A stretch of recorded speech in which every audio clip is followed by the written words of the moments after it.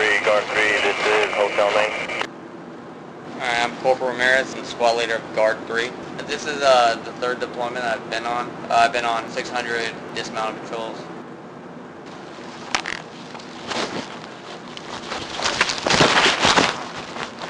Hey, we're crossing right here. Salam alaikum.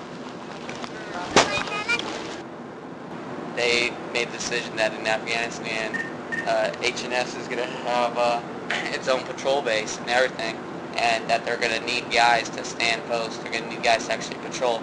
And that in uh, deployments I've been on before, the H&S never had its own battle space. I have uh, 12 Marines in my squad, and including myself, there are three infantrymen.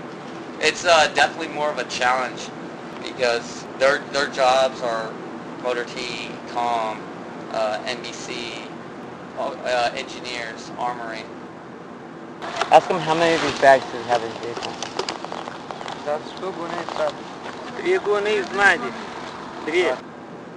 A lot of the grunts I will be like, oh yeah, these guys, they know, and they never patrol, blah, blah, blah. Yeah, they never patrol, but we're still all Marines. You can take an H&S Marine or a non-infantry Marine, and you can train them.